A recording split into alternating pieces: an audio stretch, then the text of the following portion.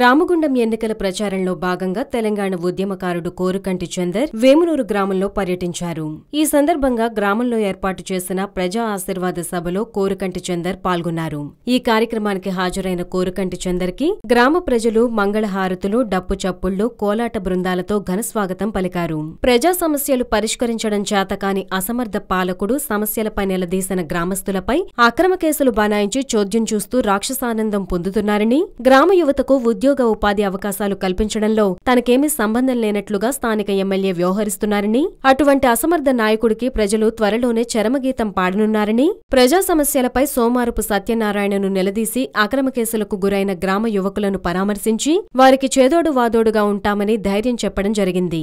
ఇంకా ఈ కార్యక్రమంలో రామగుండం జడ్పీటీసీ శ్రీమతి కందుల సంధ్యారాణి మండల నాయకులు గ్రామస్తులు తెలంగాణ ఉద్యమకారులు అధిక సంఖ్యలో పాల్గొన్నారు. హలో మిమ్మల్నే యోయో టీవీ యాప్ డౌన్లోడ్ చేసుకున్నారా?